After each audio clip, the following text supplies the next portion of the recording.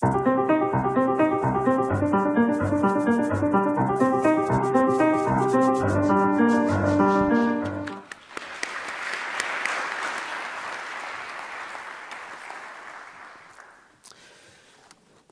thank you, Dr. Laughlin, and, and to thank the uh, Journal of Experimental Physiology for asking me to give this talk.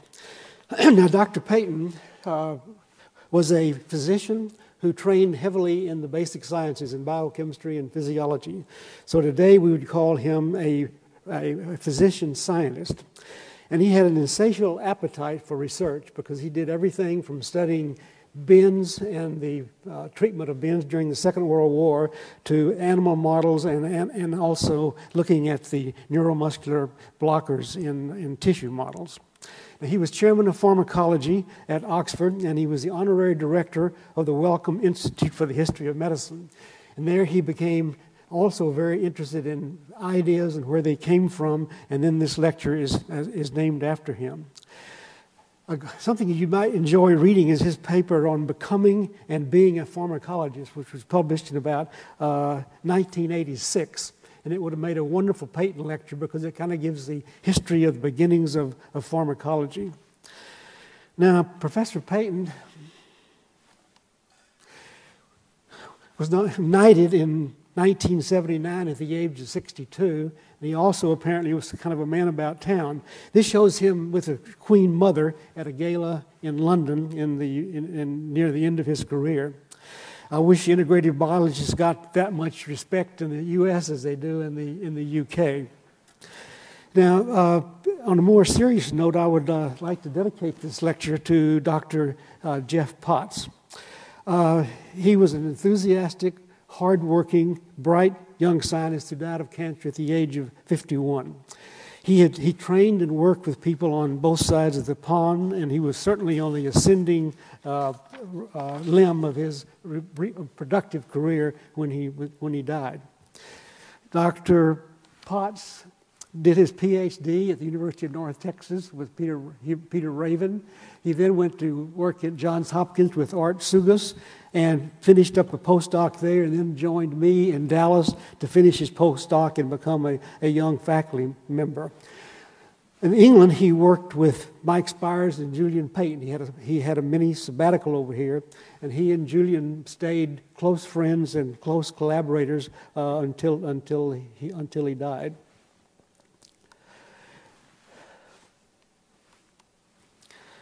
Now, the, during exercise, the cardiovascular response is rapidly and adequately adapted to the intensity of the exercise. Now, how this precise matching of the cardiovascular response to the intensity of exercise occurs has uh, intrigued physiologists for, for over 100 years. And this shows here Professor Johan Johansson, who was from the Karolinska. He got his medical degree in 1889 and his PhD in 1990 from Uppsala. And he became very interested in this regulation of the circulation and also the respiration during, during exercise.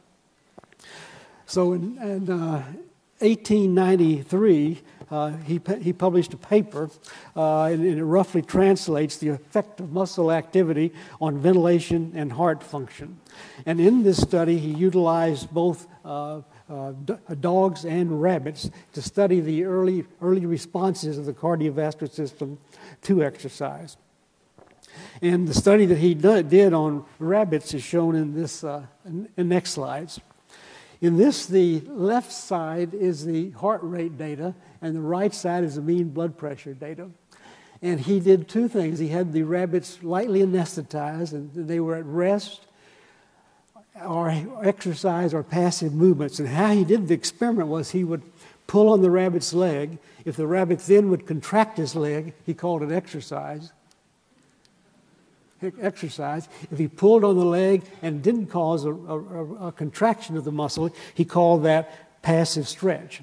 And you see here that with, with exercise, going from rest to exercise, there's a marked increase in the heart rate.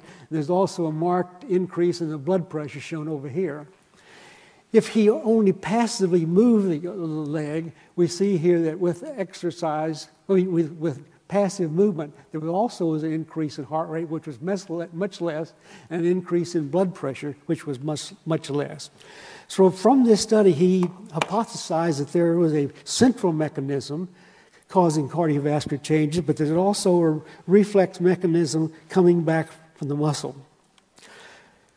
In other words, during, during exercise, the central mechanism is that when you decide in the brain to exercise, it sends both a muscle, a, a, a, a signal to the, to the muscle to exercise, but in a parallel fashion, it sends a signal to the cardiovascular center to change the heart rate, to increase the heart rate and increase the blood pressure.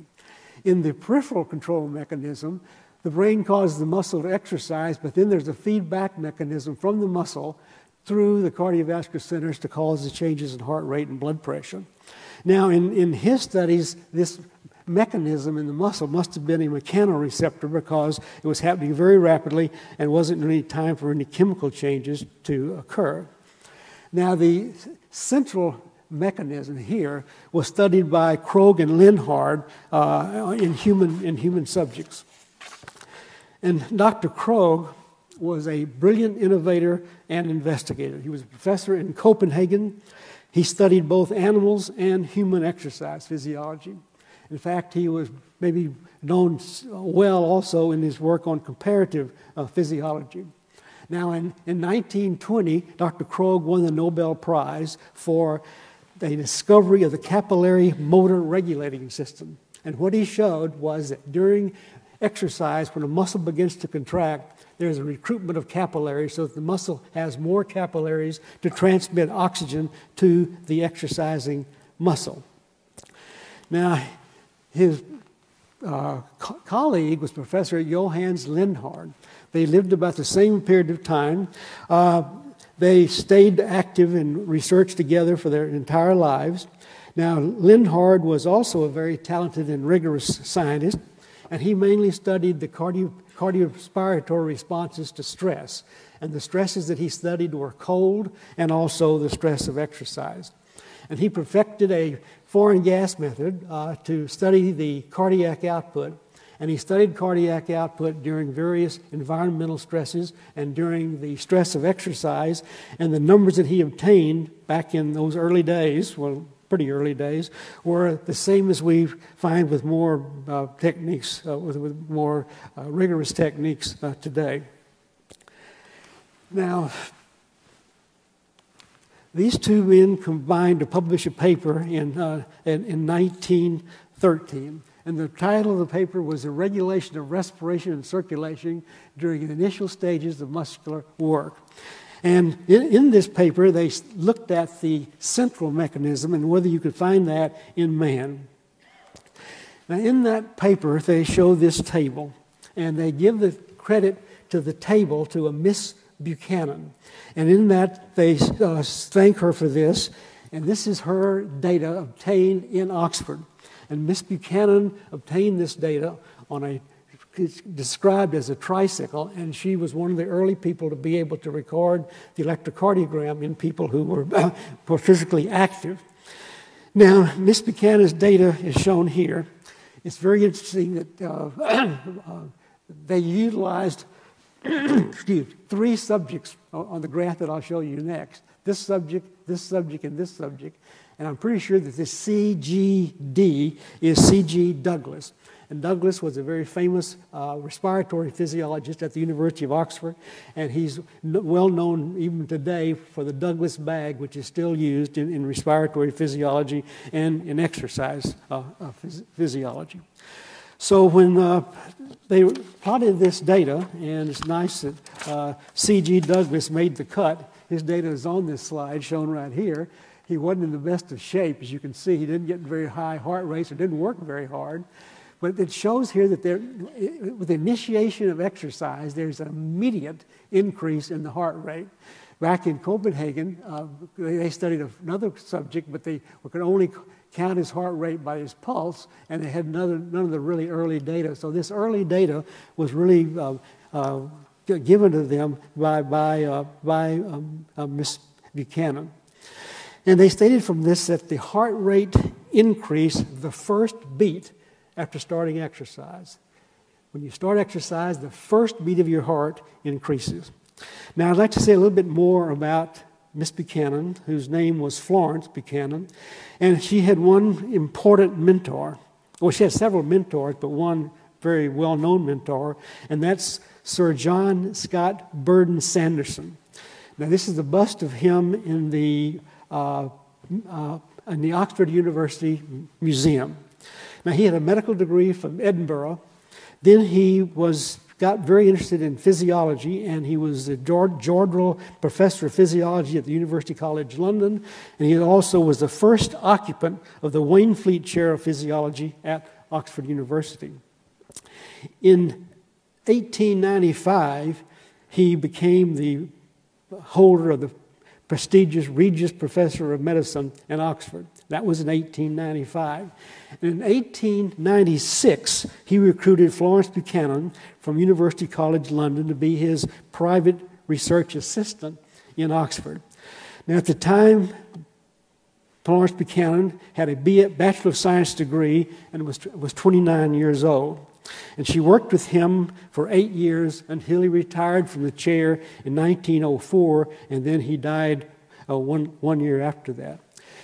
Now, one of the things that Burdon Sanderson was well known for is his pioneer work in electrophysiological studies of both contracting skeletal muscle and contracting cardiac muscle, or early, an early person in the field of electrocardiography. Now, the paper that's quoted in Krogh and Lindhard, from where that table came, is this paper right here called The Physiological Significance of the Pulse Rate by Florence Buchanan.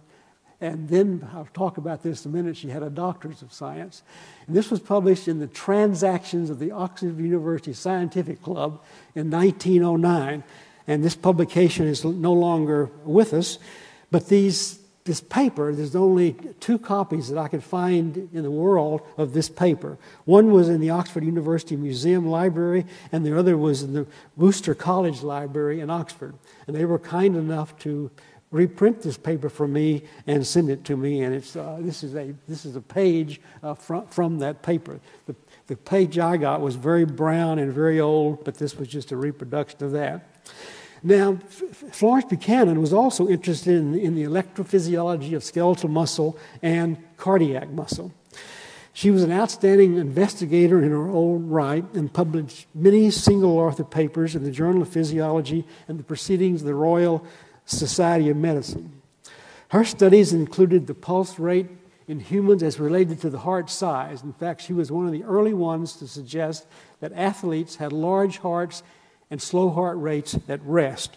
She also studied the heart rates of hibernating animals, both when they were hibernating and when they weren't, and, and many other seminal studies.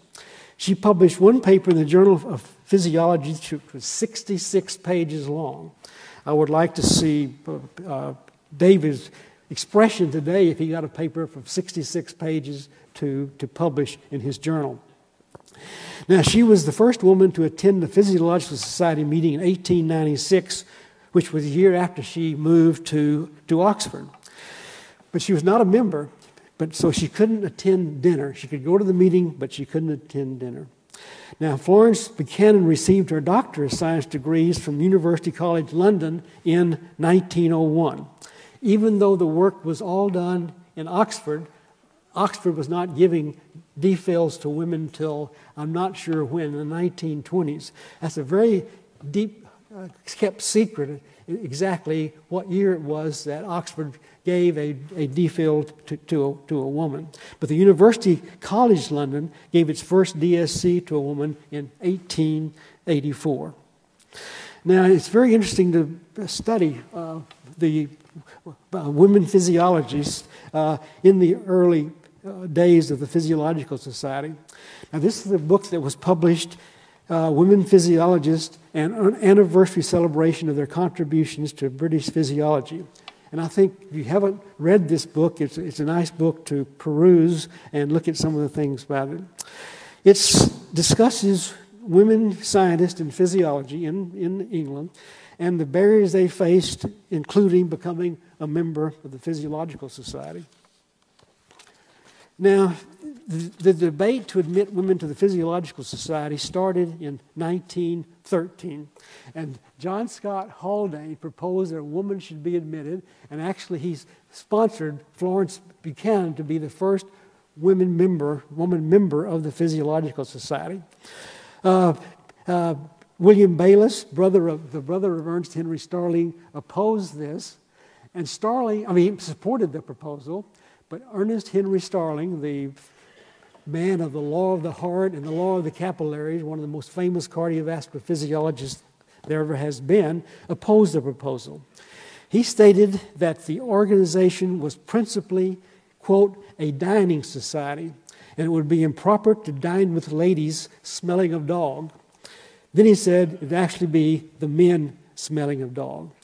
So the opponents prevailed for two years, and the first woman was not admitted into the Physiological Society until January 1915. And at that time, six women were admitted. And you see Florence Buchanan here. Uh, these are alphabetical, but at the top of the list. At the time that she became a member of the Physiological Society, she had already uh, published two papers in the Journal of Physiology, and she had given 10 oral communications at, at the meeting of the Journal of Physiology. So she could go, she could talk, but she uh, uh, was not allowed to have dinner with the men smelling of dog. Now, I was not able to find a picture of Florence Buchanan, but it's amazing what you can find on Google. Somebody had taken a picture of her tombstone. And she is buried in Oxford at the Wolvercote Cemetery. Now, she was in Oxford from the year she went there in, 19, eh, eh, in 1896 to her death in 1931. So, for 35 years, she worked in the University Laboratory of Physiology uh, in Oxford.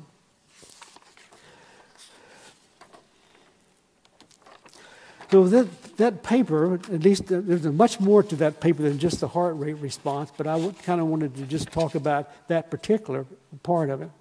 But Krogh and Lindhard not only studied the, the central control mechanism, but they also studied in man the, the reflex control mechanism on the initiation of the, of the heart rate response.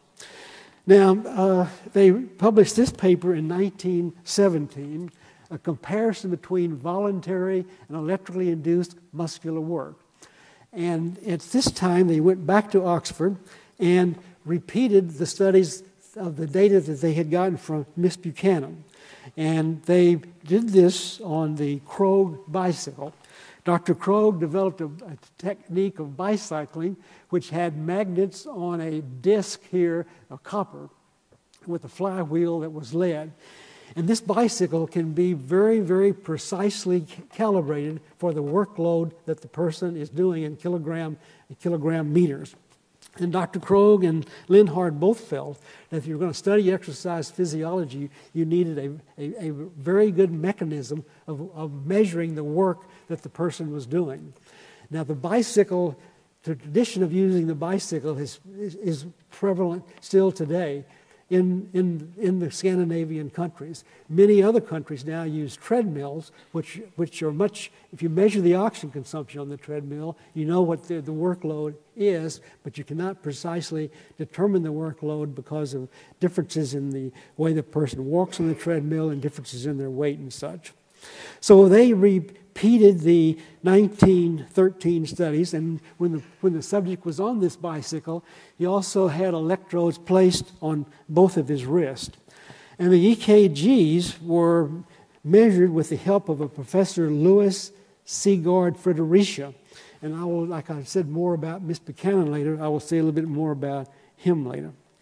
But when they repeated the studies that they did in Oxford, the top part of this diagram shows the studies that were done in Copenhagen. All three of these studies were done upon uh, uh, Lindhard. He was the subject. And in two of the, one study here and in one study here, they got the same data that they got in the, uh, the data that Miss Buchanan had given them. That is, that there was an instant increase in the heart rate at the moment exercise started. And uh, uh, so this really then agreed completely with the paper that they published in 1913 on with Miss Buchanan's data.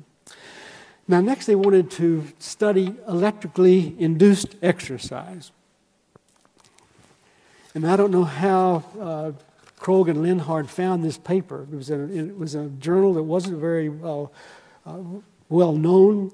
And the title of the paper, from my French translation, is The Cure of Obesity by Electrically Produced Exercise. Now, the, the, the, this technique produced exercise by electrically stimulating the muscles. It was very clever and insightful of Krogh and Lindhard to use this method to study the peripheral mechanism. In other words, when the exercise was started by stimulation of muscle, there could be no central mechanism. It was purely the uh, reflex mechanism.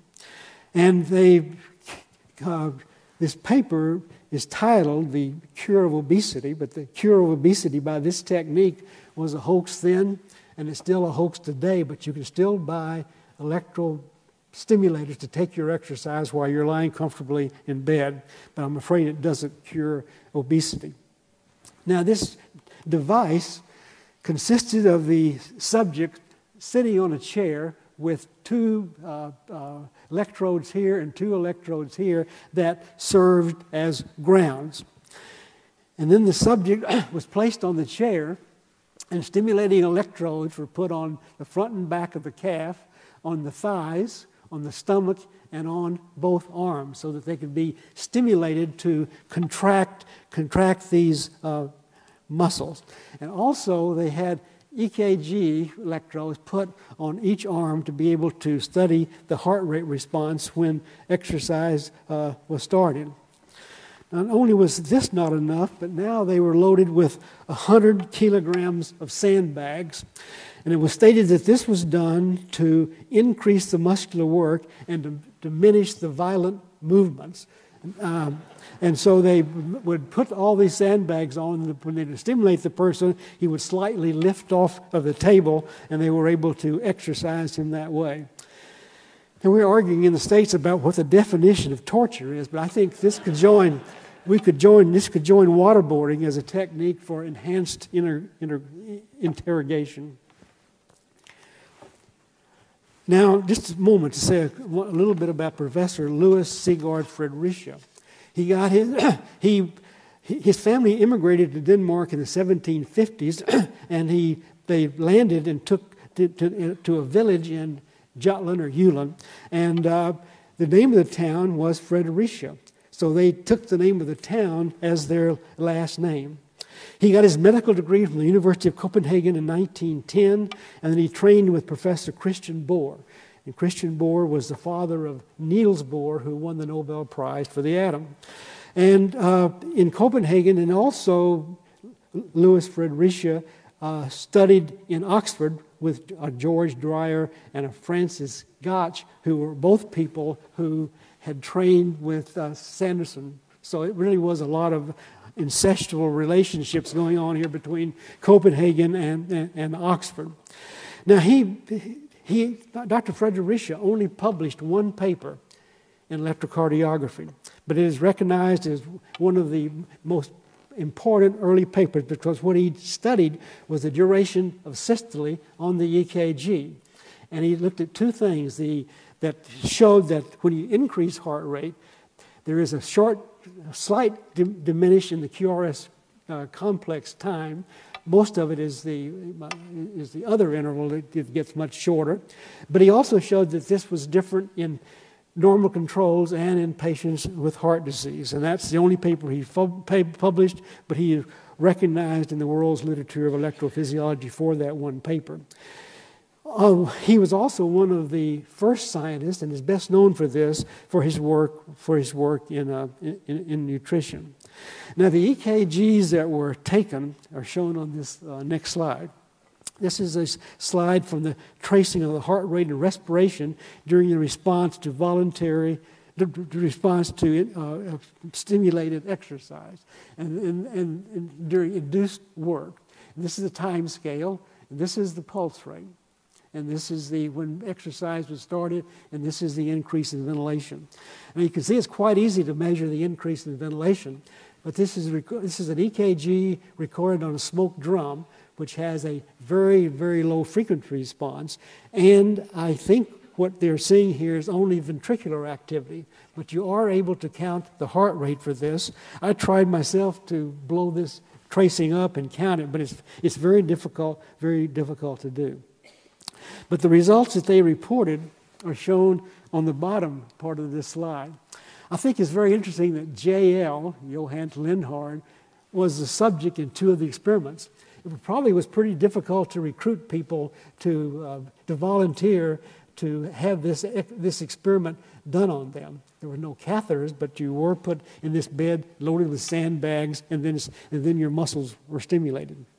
But again, as they see here that the heart rate increased very rapidly, but it didn't increase, didn't appear to increase as rapidly during induced exercise as it does during voluntary exercise. But they, so they say that the heart rate increased one more beats after starting exercise, and that was a, was a estimate.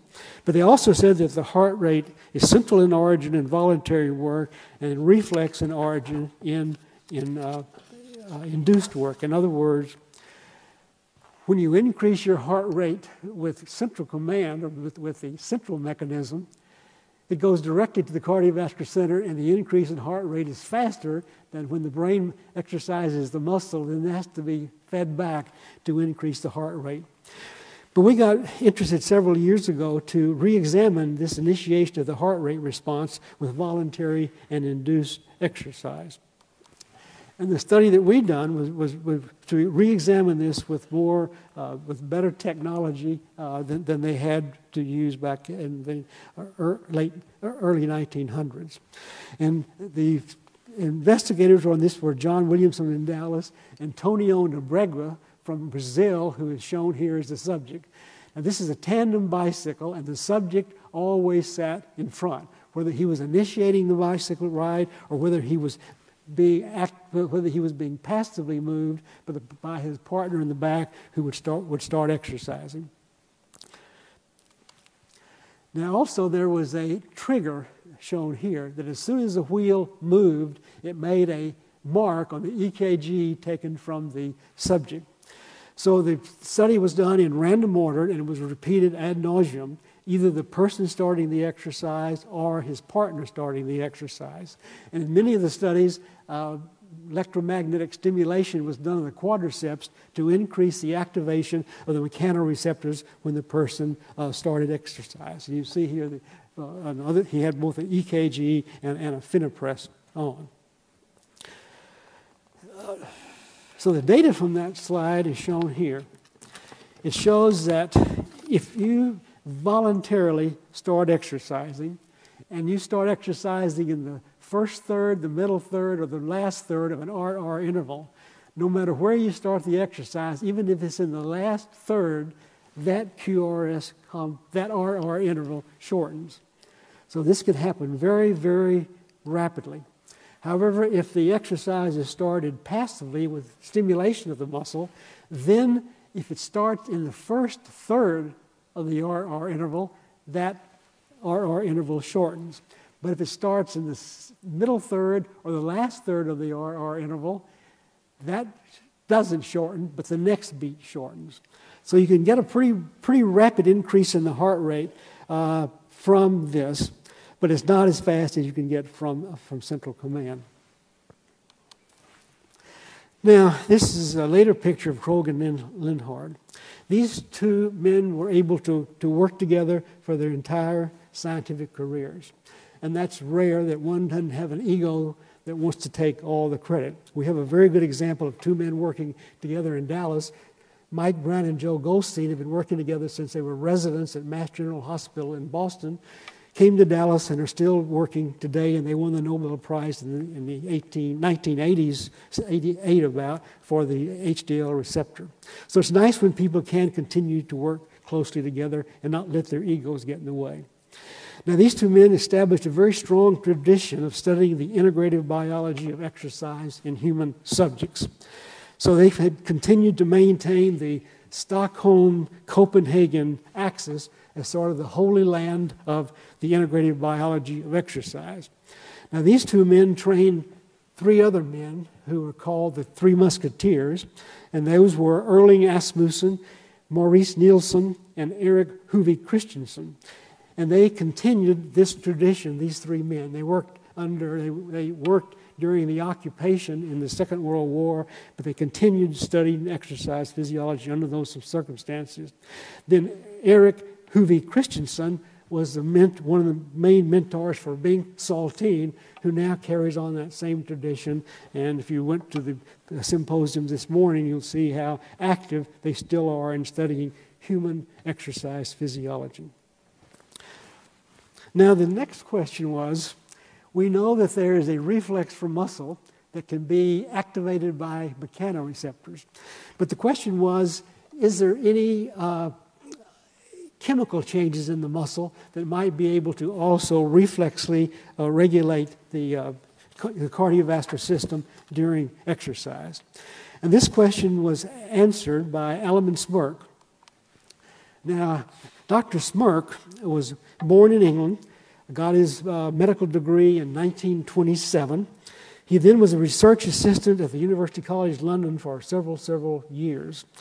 And then when he got ready to get an academic appointment, times were tough at that time, like one of the previous times that times were tough. And he had, it was difficult to get an academic position.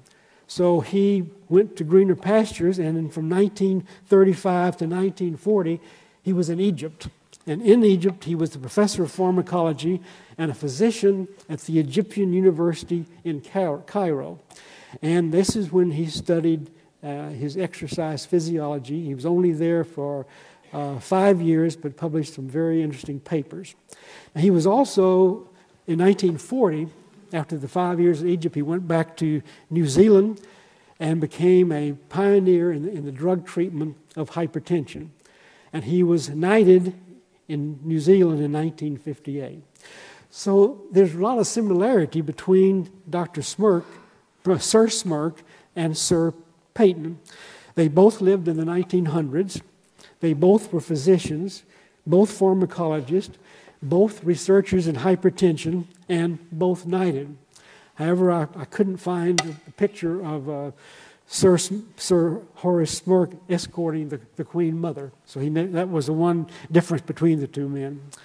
Now, he, had a, he published a paper with Alam. I, also, I wish I could tell you more about M. Alam, but he sort of disappears from the literature, and I couldn't, I couldn't precisely see where he went after these studies. He, I think, was in Egypt and stayed in Egypt, and he was worked, and his work with Smirk was apparently the only research work that he did in this in this area. So, in this paper, they did a very very simple experiment. They took the blood pressure in the left arm, and they had the man, the subject, squeeze a rubber bulb at one per second with his right hand. And then they put a cuff around here. They would do the study first, squeezing the bulb and taking the blood pressure with this uninflated, and that was their control study. Then they would blow this up to above systolic pressure, have them squeeze again, and that was the ischemic study. And the results of that study are shown on this slide right here. The upper is the control study, and we show you here exercise in red and recovery in green. You see that during exercise, there's an increase in systolic blood pressure. When the exercise stops, the, during recovery, the systolic blood pressure falls back down. However, when you put the ischemic cuff on before you start exercise, there's a marked increase in the blood pressure response to exercise. But more importantly, when you stop exercise, as long as the cuff is left on, the blood, the systolic blood pressure stays high and even may rise higher until the cuff is released and then the, then the blood pressure falls. So they concluded from this that during exercise, there's a substance produced in the muscle that reflexly activates the cardiovascular system to cause what they call the blood pressure raising reflex. But they also had a second paper on observations in man on a pulse accelerated reflex from the voluntary muscles of the leg. And how that experiment's done is shown in this slide. The subject had his heels on the floor, a 12 kilogram weight put on his knees, cuffs put around his thighs, and in the left arm, the blood pressure was taken or the heart rate was taken uh, just by counting the pulse. So these are very simply designed experiments that don't take much equipment, but they were very cleverly done, I think. And so they would do the study first with just raising the heels with these not inflated, then they would inflate these and repeat the study.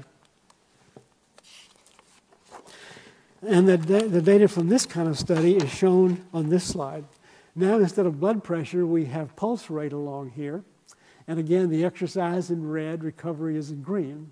And we see when you start raising your heels against that 12 kilogram weight, you get a modest but, but definite 10 to 15 beat increase in heart rate. And as soon as you stop exercising, the heart rate comes back down.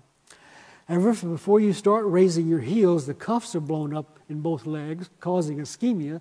Then you see that there's an increase in heart rate like there was before, but as long as the cuff's on, the heart rate stays elevated until the cuff is let down and then the heart rate returns. So they said then that these, the chemicals produced in, in muscle would not only increase the blood pressure, but would also increase the, the heart rate. But they wanted to compare these two, that is, the blood pressure and heart rate response to just exercising one forearm, forearm to the response where you're exercising two calves. In other words, the muscle mass being exercised is much greater here than the muscle mass is here. And what did they find in, uh, in, in uh, this kind of experiment? Well, this shows above the systolic pressure. And whether you are including two legs and looking at the ischemic response afterwards with the cuff on, or just one hand, the blood pressure response is very similar. So the blood pressure response does not appear to be very muscle mass dependent. However, the heart rate raising reflex only occurs when lar- you're using a large muscle mass, shown here, with the occlusion in two leg muscles, and with just hand grip, one does not see the heart rate stay up during the, the post exercise occlusion. So one is very muscle mass dependent, and the other one is not. Now, the third study in that series is shown here, and the title of this one is The Unilateral Loss of Blood Pressure Raising Pulse Accelerating Reflex from Voluntary Muscles Due to a Lesion in the Spinal Cord. And this was a young Egyptian person, about, well, not, about 40 years old, who had numbness in one leg from above the knee to his toe. Now, they didn't have fancy MRIs or fancy CT scans. All they could do was a, was a neurological exam. And they noticed that there was the, the cold pressor test in this insensitive leg. There wasn't one, no blood pressure rise. We put the insensitive leg in cold water.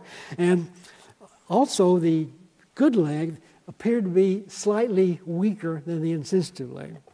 Now, this was not a true Brown-Séquard lesion with marked weakness on one side and lack of feeling on the other side because of a hemisection of the spinal cord. But it was, in a way, a Brown Sequard equivalent. So they studied this one subject. And what they would do is exercise the good leg of heel raises with ischemia and also do the insensitive leg with, with ischemia, with the, with the heel raising reflex. So this time we were looking at ischemic responses both times.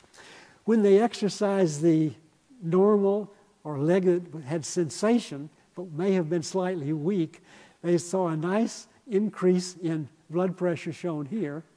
And with the cuff ischemia, the blood pressure stayed on until they dropped the cuff, they uh, inflated, deflated the cuff, and now the blood pressure came back down. However, on the other side, the leg that had no feeling, when they put the cuff on and did the exercise, as soon as they stopped exercising, the blood pressure came back down. In other words, the the, the chemicals in the muscle, which had kept the blood pressure up here, did not keep the blood pressure up here. The chemicals were probably there, but they weren't being uh, conducted to the cardiovascular cardiovascular area. So this, the without the afferent input, they could not uh, get this response.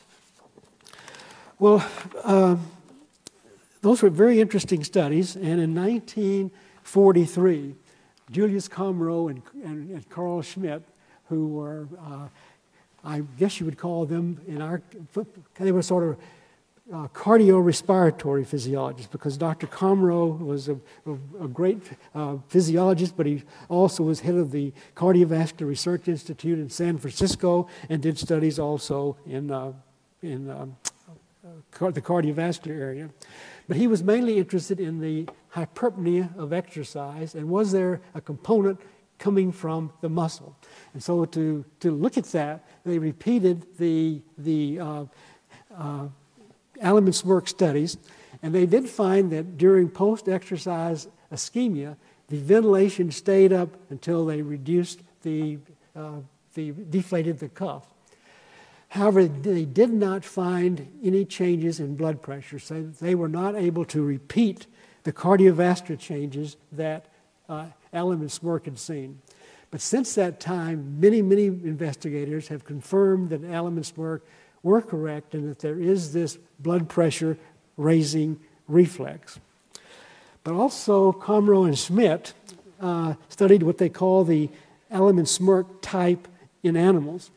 And to do this, they used a method described in Sherrington's uh, Oxford Student Laboratory Manual, where they went in and did a laminectomy and stimulated L7 and S1 to get the triceps surae to contract. When they did that stimulation, they found no increase in blood pressure during the simulated exercise. Now, 30 years, 20 years later, Fred Kao in 1963 found using the same technique that there was blood pressure changes, and then Dr. Coote in 1971, along with uh, uh, uh, Dr. Hilton and Perez Gonzalez, clearly showed that there was a pressor reflex in the cat, and McCloskey and I in 1972 again confirmed that. So since then, the pressor reflex done by similar technique to this has been shown in the dog, the cat, the chicken, and also in the rat. So why couldn't Comroe and Schmidt get a pressor response? Well, some of the problems with the Comroe and Schmidt study were that they the anesthesia they were using was somewhat different. They used morphine in some of their experiments. They also stimulated the ventral at 4 hertz.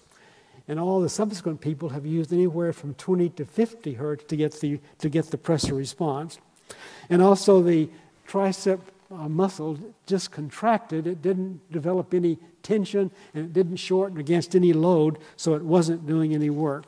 For, so for those reasons, I think that that's why the, uh, they didn't find the uh, cardiovascular uh, responses. So, uh, way back, they had something they, they said was a central mechanism, and that's commonly called today central command. And there was also a, a peripheral mechanism, which today is commonly called the exercise pressor reflex.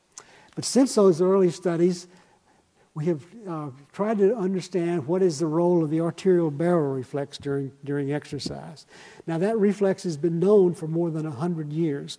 And as you know, when the uh, pressure goes up in the aortic arch and in the carotid sinuses, the increased blood pressure activates receptors, which reflexly cause a depression in heart rate and a depression in sympathetic nerve activity. But during exercise, there's an increase in blood pressure and an increase in heart rate and an increase in sympathetic nerve activity. So, where are the baroreceptors? Well, the easiest first explanation was that they were turned off during exercise. They just weren't doing anything. Then later on, it was said that they had changed their sensitivity. But today, the, the sort of present concept is that the arterial baroreflex is reset during exercise. And what do we, what do we mean by that? Well, it shows here the plot of blood pressure against heart rate or sympathetic nerve activity. And this is the resetting that occurs with arterial baroreceptors during exercise. Now, the yellow line is the arterial baroreflex function curve during rest. And you see clearly here if blood pressure, uh, uh, if, if blood pressure g- goes up this way, heart rate goes down. If blood pressure goes up, heart rate goes down. So it's, it's, it's working at rest. Then during exercise, it appears that the curve shifts upward and to the right. So it's again still where the slope of the curve is the same, so it's still working and regulating the heart rate just as it does at rest, but at a much higher operating point. So there's been a shift of this curve upward and to the right. And also, experiments have shown that this shift can occur both by a central command, that's been shown in both humans and animals, and also this shift can occur because of the exercise pressor reflex and that's been shown in also in both man and animals. So, in this lecture, I have mainly discussed some of the historical experiments which led to the early insights on the neural control of the circulation during exercise. The early, the early investigators included Johan Johansson, August Krogh, Johannes Lindhard, and Horace Smirk. Two other investigators, however, should be mentioned for their contributions, and that's Florence Buchanan and Louis Fridericia. Now, since those early studies, we've learned much more about the neural mechanisms that are responsible for the rapid and appropriate matching of the cardiovascular response to the exercise. And we know that the autonomic nervous system plays an important role in that matching. In other words, during exercise, there's withdrawal of the parasympathetic activation to the heart, and there's also activation of the sympathetic nerves, not only to the heart, but the resistance vessels, the capacitance vessels, and to the adrenal medulla. And it would appear that all of these autonomic changes are occurring because of inputs from central command, the exercise pressor reflex, and the arterial baroreflex. Now, this is supposed to be a historical lecture, so I'm not going into what the current concepts are.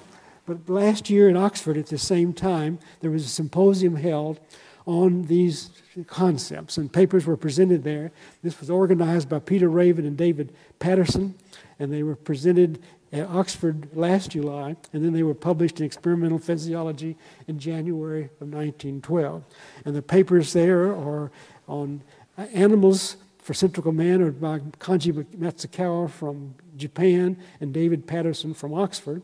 The exercise pressor reflex in animals was discussed by Mark Kaufman and in humans by Neil Secher, and then the arterial baroreflex function, the latest ideas on it were presented by Paul Fadel and Peter Raven. So thank you very much.